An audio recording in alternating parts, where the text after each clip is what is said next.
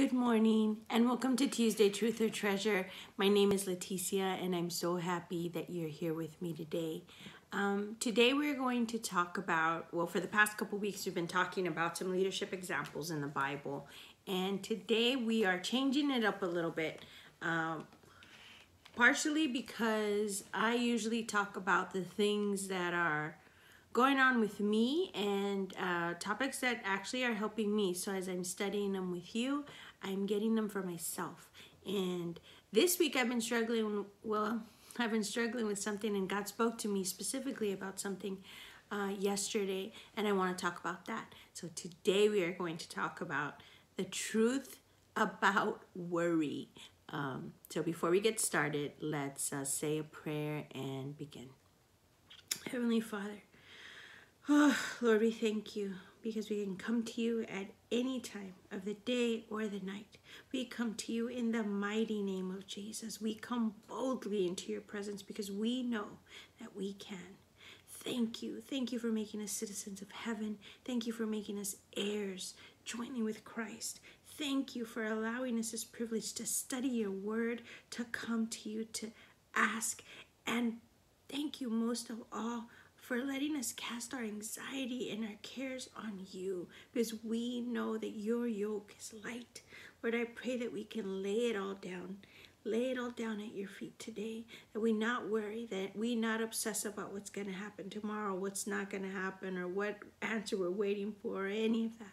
That we could focus on learning more about you, that we can truly cast our cares on you, and that we can take with us the peace that surpasses understanding that only you can give.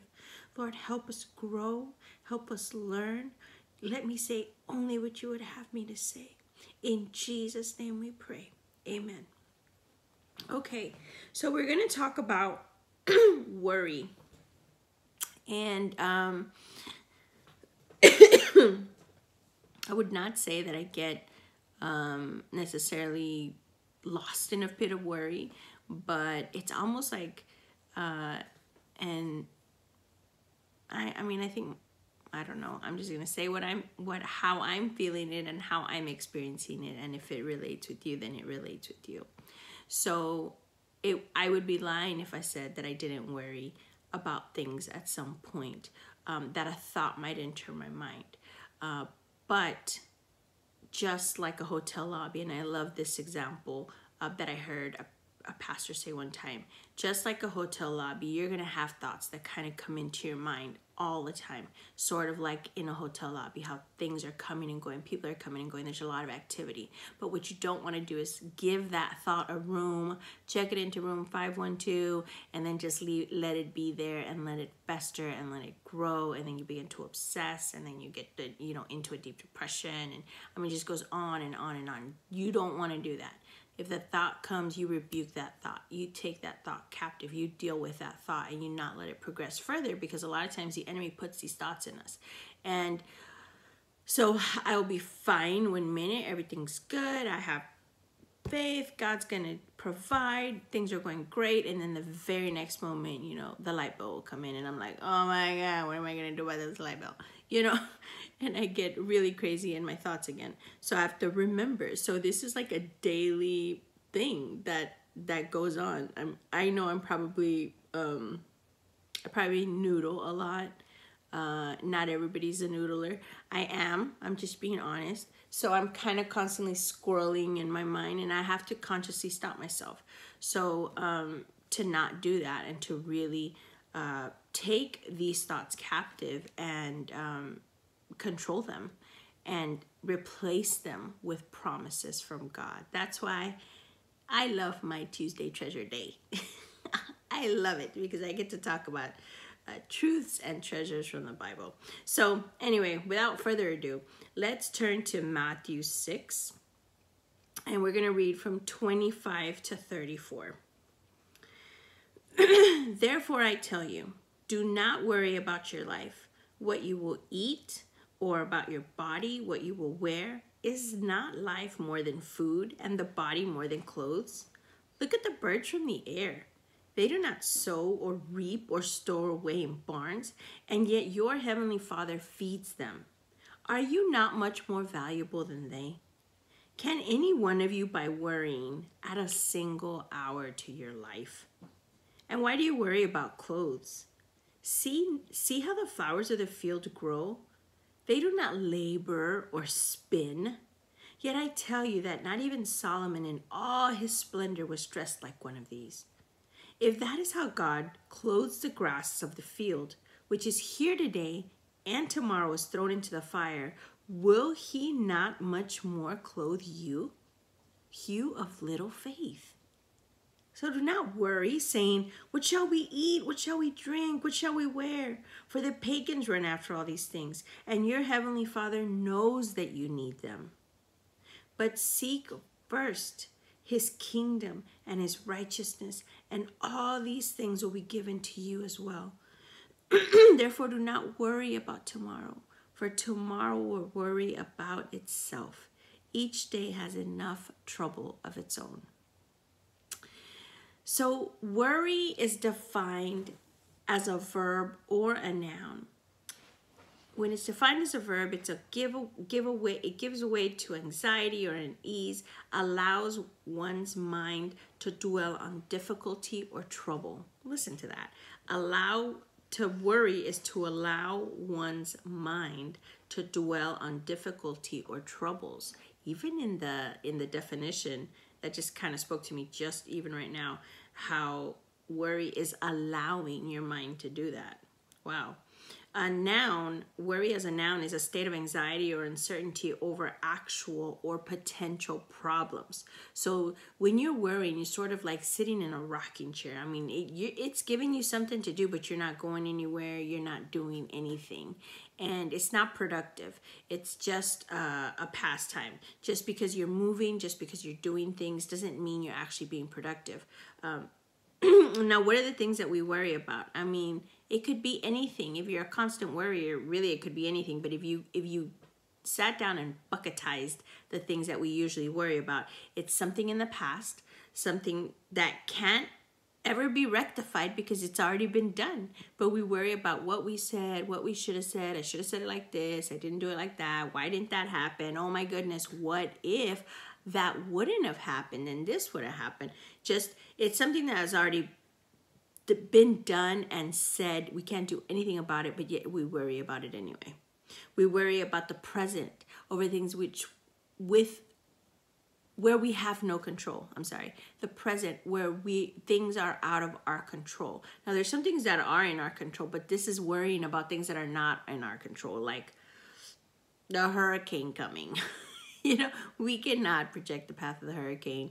Uh, we don't, you know, or, or it, like those kind of disasters. You're worrying about something that it's not even happened yet.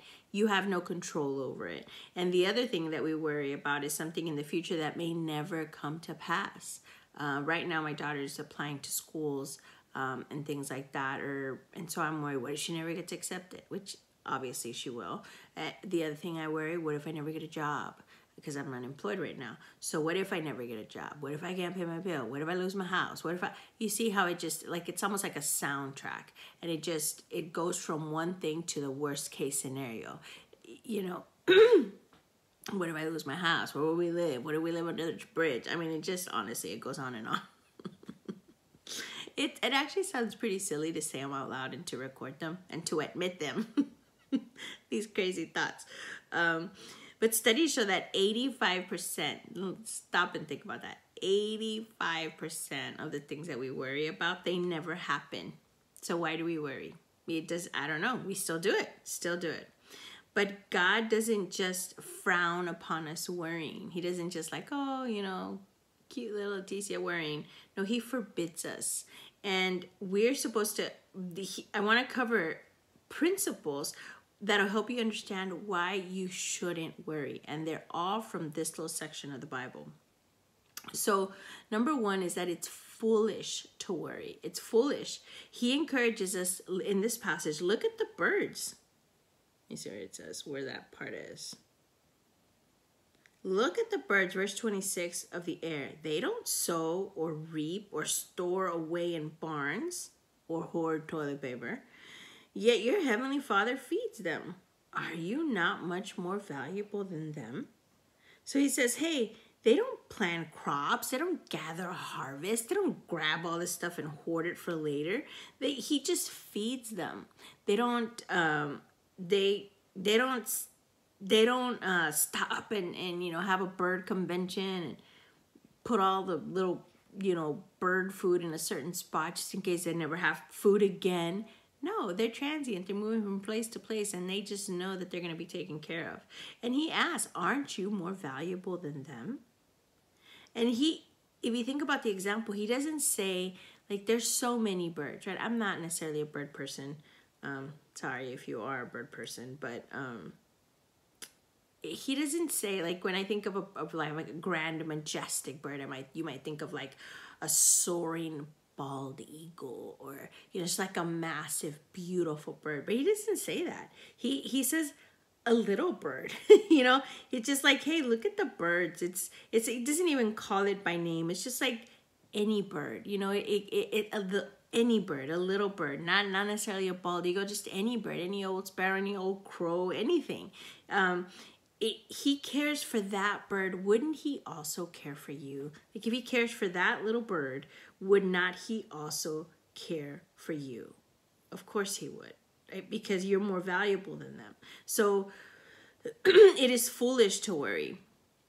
The next thing is it is futile. It is um it accomplishes nothing. It is futile to worry. It's it's useless. That's a better word. It's useless to worry. It accomplishes nothing absolutely nothing you don't add extra extra time to your life it doesn't improve your reputation it does nothing and our days on this earth are they're already numbered even before we were born they were already numbered the bible says that so why do we worry why do we worry about them we try to a lot of times maybe worry toward a solution or what will happen when or or how uh, you know let's hurry up before you know i gotta hurry up and do this before this or you know i'm, I'm doing that all the time. Uh, i worried when my kids were little i always worried about like the next phase in their development. Like when they were babies i worried that i would never be able to wean them well i worried that they would never stop sleeping in the bed with me I worried that I'd never be able to wean them. I'd worried, what if they never learn how to walk? Then I worried, what if I never can potty train them? What if they never learn how to read? I mean, you see, I'm I'm not even to that step and I'm already worrying about the next step, which it was useless because it was a natural progression. It was happening anyway. Now, I'm not saying you're not concerned, you're not working toward, you're not, this is different than worry. Um, these, you can see by what the things that I was thinking about at the time in my life. I was just, it was almost just like a way to keep busy. And, and, you know, when the kids started walking, when kids started walking, I didn't have to worry about that. I just inserted the very next worry and moved right along, uh, just worrying about the very next thing. And we shouldn't be like that. If you think about the Bible and when we're looking, reading the Bible, not once in the Gospels do we hear uh, Jesus say, let's go, let's hurry up, or we're going to miss this miracle. We got to hurry up and make it happen. No, there's never that sense of hurry uh, and worry that you're going to miss something because God is an on time God. So, though you have a need and things may be, um, you know, building up and you're getting close to a deadline, and that's, I think, a lot of times when we start to worry, like, Lord, this is about to happen and I need you to work right now. Like, I don't know what's going to happen. You know, mortgage is coming due or this bill's coming due or my, my worries right now, a lot of them are financial. So that's my example. Sorry, but you know my my kids a university or you know getting accepted just any insert your own worry there um, but the thing is we're not accomplishing anything um, by doing it. It's absolutely useless. Absolutely useless. Accomplishes nothing. Absolutely nothing. Think about the sunrise. We have to wait for the sunrise. We can't hurry it up. It doesn't rise any sooner if we worried about it. we're not making it uh, it doesn't rise any sooner because it knows we're watching. It just rises because it's time for it to rise. You can count on it. You don't have to wait in vain for the sun. You don't have to wait for it. God's faithful. It just comes up. It's just there. So worry is not only foolish to do because just as he takes care of the birds he'll take care of us it's also useless to do because you're accomplishing nothing, absolutely nothing. Um, third thing is that it is frustrating to worry. Worry causes frustration. He talks about the lilies of the field that neither toil nor spin. They don't worry about they're going to wear or punch a time clock. Think about how they grow. I mean, how they grow, it's really it's a mystery. We have no idea how it grows. It just happens. A caterpillar turns into a butterfly. How? doesn't worry about will I ever become a butterfly. It's it doesn't. It just God does it. These little animals in his hands, they're free because they can just move on to the next thing. With it's don't have to be frustrated about this next phase. They just they're worry free. And so it's frustrating to worry because you are trying to stop a uh, a process that, that is under God's control. The last thing, and probably the thing that convicts me the absolute most, um, because the other things I feel like, you know, it's foolish, I'm being dumb, it's useless, it's frustrating. They're like, for me, like, it's, it doesn't feel, this last reason feels um, insulting. I don't want to insult God, but it's faithless to worry. It is absolutely faithless because when you're worrying, what you're basically saying is, I don't trust God, what you said in the Bible for me. I do not trust that you're going to take care of me. So I have to worry about it because I can't trust your word. So when we say that, we're basically calling God a liar. We're saying that we can't trust that He's going to provide our every need. We're saying that we can't trust that He's going to clothe us like He clothes the lilies of the field. We're saying that He's not going to take care of us. So we have to worry because we feel like that. So it's absolutely faithless. It's a lack of faith in God's promise to protect his people to provide for his people it it really it reveals a lack of trust in god and in his promises. I mean do you trust the bible? That's what i tell myself like what are you doing? If you say that god is your provider why are you worried? There's no reason. There's no reason. And the thing is that faith and worry are reactions to the events in our life but if our life is governed by scripture and we have scripture in our heart, then everything that comes in, every thought that comes in, we need to have a scripture to attack it. So the the key is we don't need to worry, but the very next question the very next question, if you are a worrier, so there's you know bound to be somebody who's worrying, um, you say, How? How can I do this? How can I not worry? How? Well, I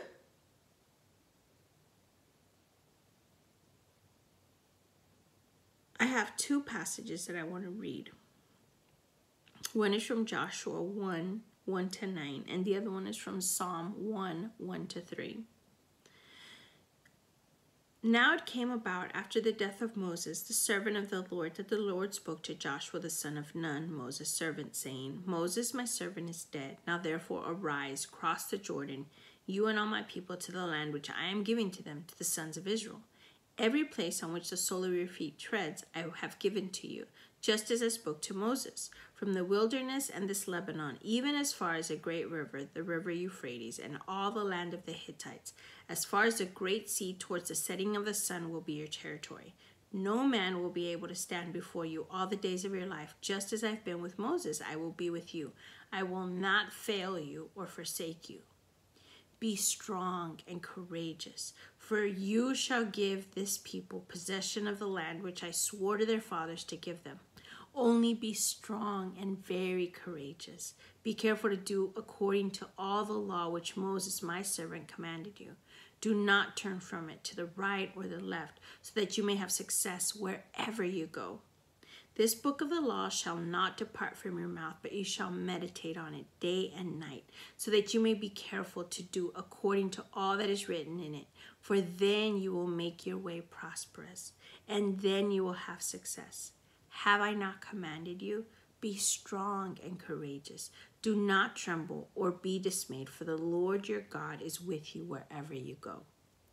In Psalm 1 1 to 3 says, How blessed is a man who does not walk in the counsel of the wicked, nor stand in the path of sinners, nor sit at the seat of scoffers. But his delight is in the law of the Lord, and his and in his law he meditates day and night.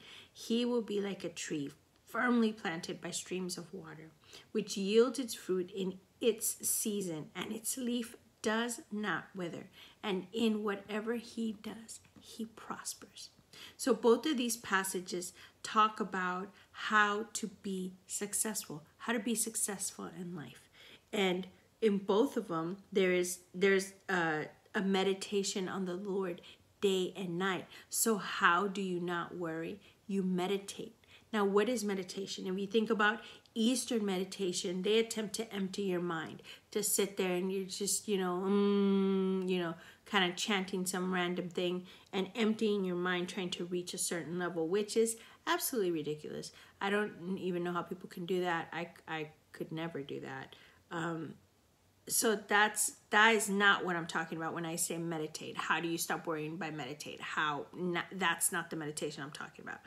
Western meditation now that's Eastern meditation. Western meditation is intellectual, so it's getting into your brain, into your thoughts. It's you know it's an intellectual uh, reasoning behind, which also would not work for me because my thoughts we know are a little bit psycho sometimes. I cannot count on my own thoughts. Uh, what I'm talking about, how you eliminate worry, is by biblical meditation, and what that is is an ongoing encounter with God. It is we start to meditate on God. Now, what specifically, what do we meditate on? We meditate on the Word of God. What did He say about our situation? So, whatever situation that we are going through, I encourage you look for scriptures in the Bible on that particular situation.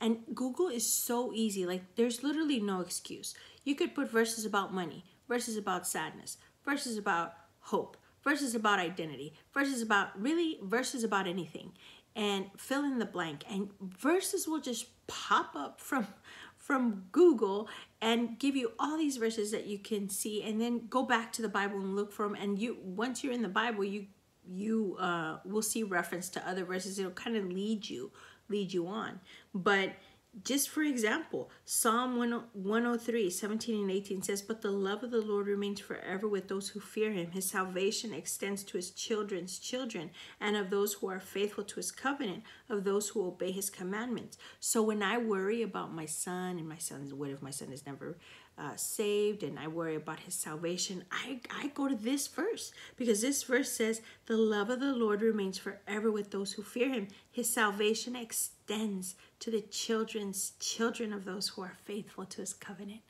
I love that. I love that promise for me. So when I'm worrying about my son or a thought comes in about my son, I automatically think about this verse in Psalm 103, 17 and 18. When I'm worried about something that might have happened or my future, you know, all that, you know, I get whatever. I, I think about Romans 8 28, and we know that God causes everything to work together for the good of those who love God and are called according to his purpose. So I think about that verse that me getting laid off, me, uh, all the things that I've gone through just recently, that all these things are working together to accomplish something good. God's going to use them for my good. Though may, they may not all be good, God will use them all for my good.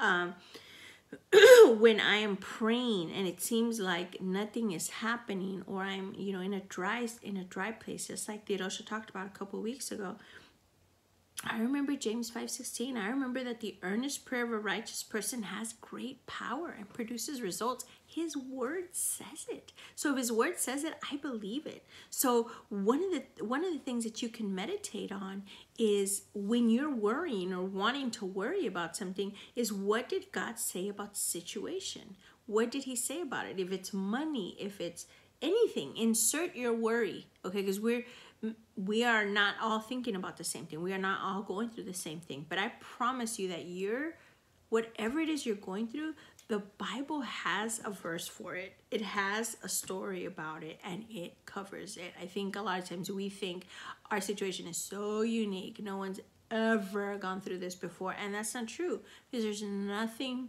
new under the sun.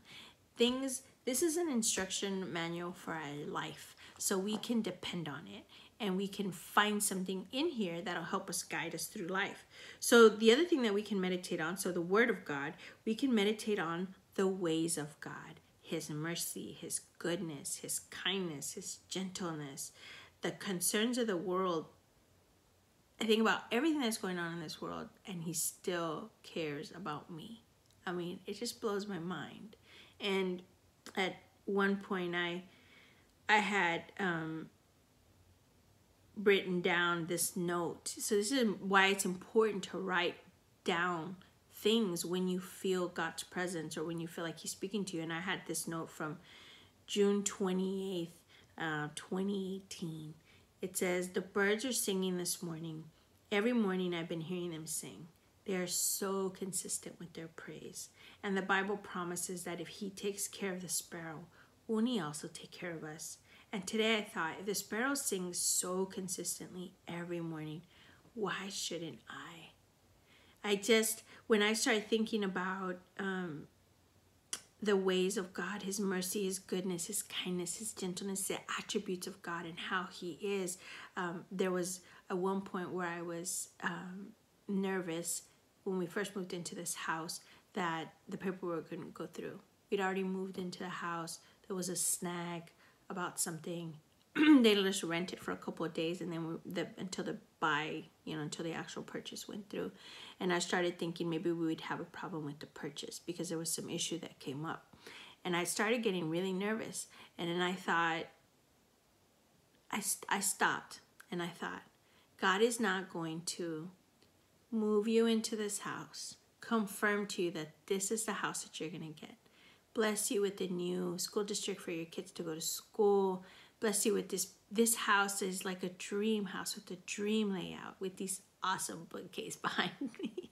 He's not to bless you with all this. Have you move in here, live here for 10 days, and then say, bye, sucker, you couldn't afford it after all. He's not to do that. That is not God. You see, so when I'm worrying about something, um, I just I stop and I think he's not gonna do all that. Just like right now, I think he wouldn't have.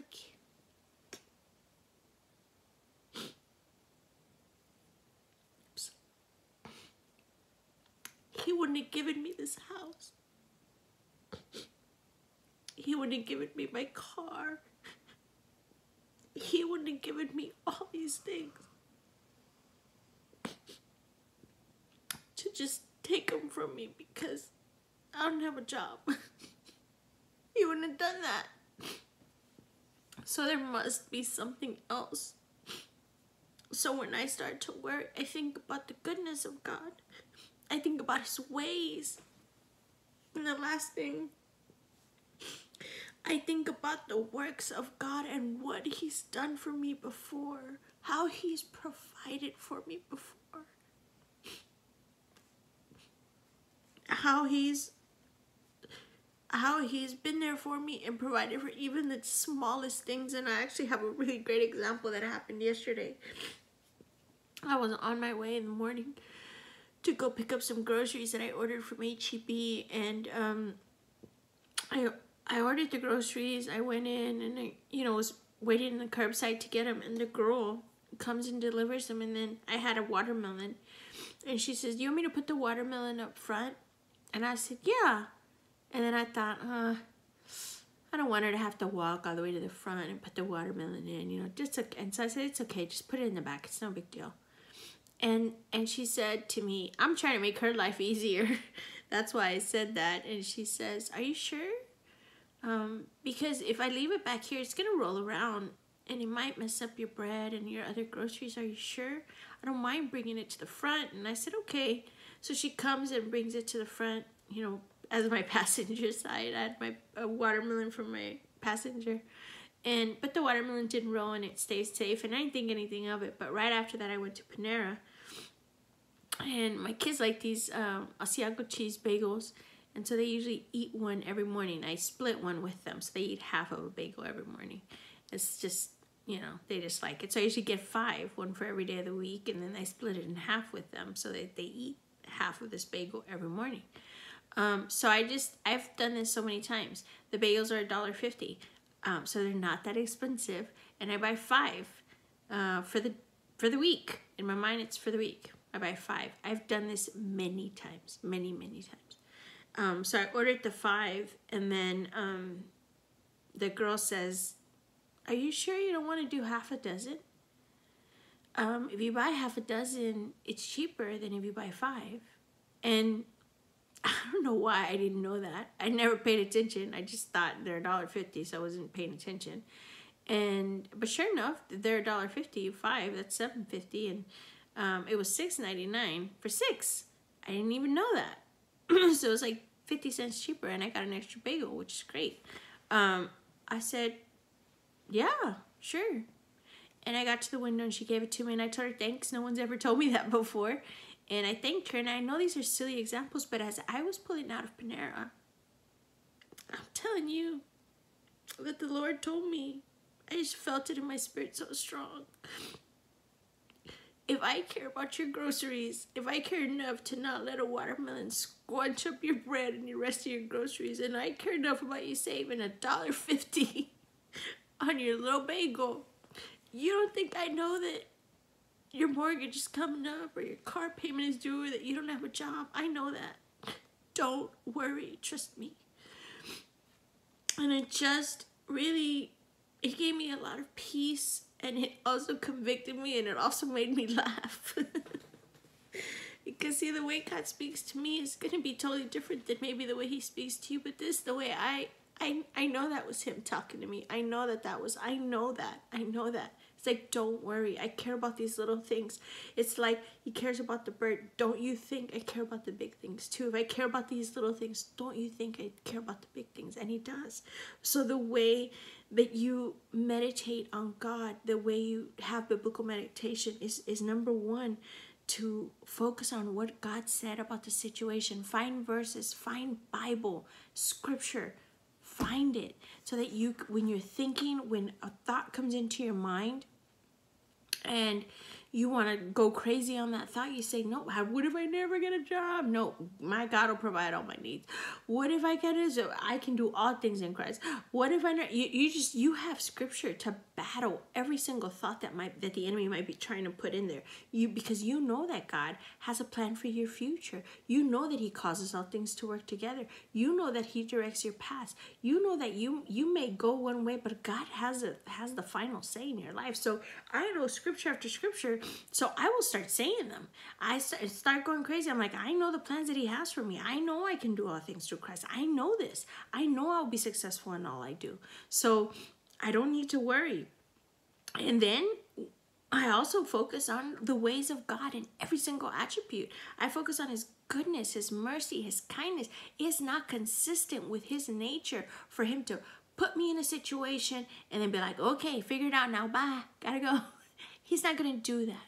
He's not to do that to me because he's a good, good father. He's your father. He's your Abba. He's your daddy. He's not going to do that. And then I focus on the works of God and what he's done for me before. And because I had such a good example from yesterday, um, I have it and I wrote it down, but there's many examples that I have where he's come through again and again and again for me. And when I'm starting to worry, I go back and I look through my examples and I read them and I remember, hey, God is with me. So when you are a person that is meditating on what the word of God says, you don't go through these periods of drought. During during a drought, if you think about it, the trees that are planted along a riverbed have no idea that there's a drought because for them there's never been one. So if you are a tree that is firmly planted by a riverbed, you have no idea there's a drought because there's always going to be enough water for you. See, so it could be a drought for everybody else, just like 2020 could have been a big fat mess for everybody else, but for you it doesn't have to be like that. So I want you to consider that. I want you to think about that. So what do you do in the meantime? you praise. You pray, you praise, and you give thanksgiving. You praise God. You rejoice in what He's already done. You give Him the praise.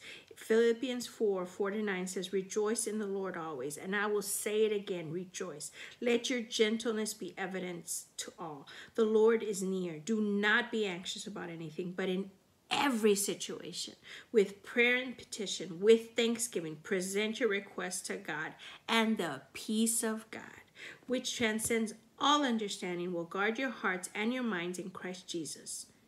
Finally, brothers and sisters, whatever is true, whatever is noble, whatever is right, whatever is pure, whatever is lovely, whatever is admirable, if anything is excellent or praiseworthy, think about such things. Whatever you have learned or received or heard from me or seen in me, put it into practice, and the God of peace will be with you. So, see, verse 7 says, The peace of God, which transcends all understanding, will guard your heart.